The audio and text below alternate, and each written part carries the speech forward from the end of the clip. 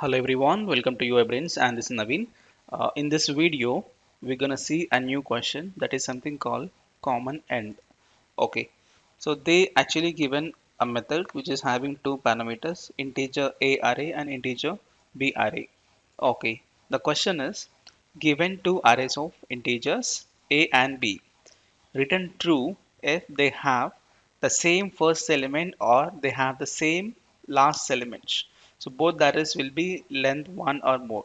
Yeah first of all they conclude that both arrays will be minimum one character length or more. So you don't need to check it is length one or not okay? You don't need to check for the index out of bound exception because minimum one character length is there okay?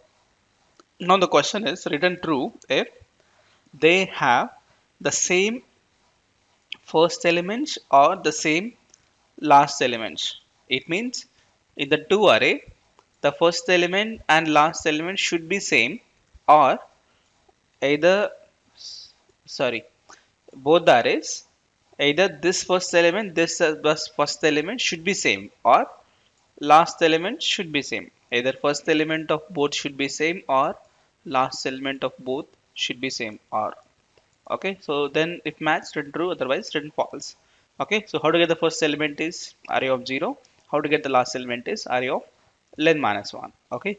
So let me uh, copy this back to Eclipse and paste it okay? So logic here is if A's first element and B's first element should match. So how to get the A's first element? A array of 0 is is equal to B array of 0 so A's first element and B's first element is equal or because they're given a condition watch or or they have a same last element. How to get the A's last element?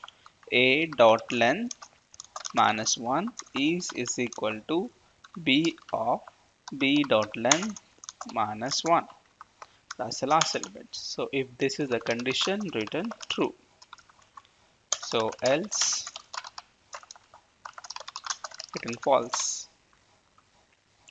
Okay, so first element equal or last element is equal return true otherwise return false. Let me save it.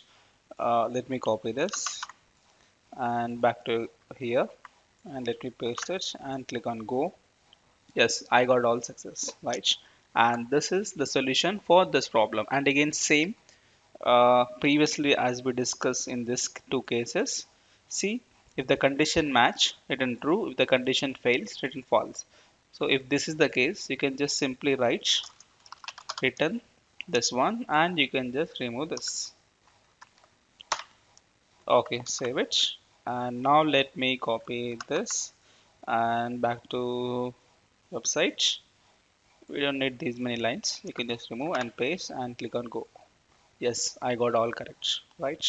And that's it. And this is the solution for this problem. And thank you so much for watching and we'll see the next question in the next video. Thank you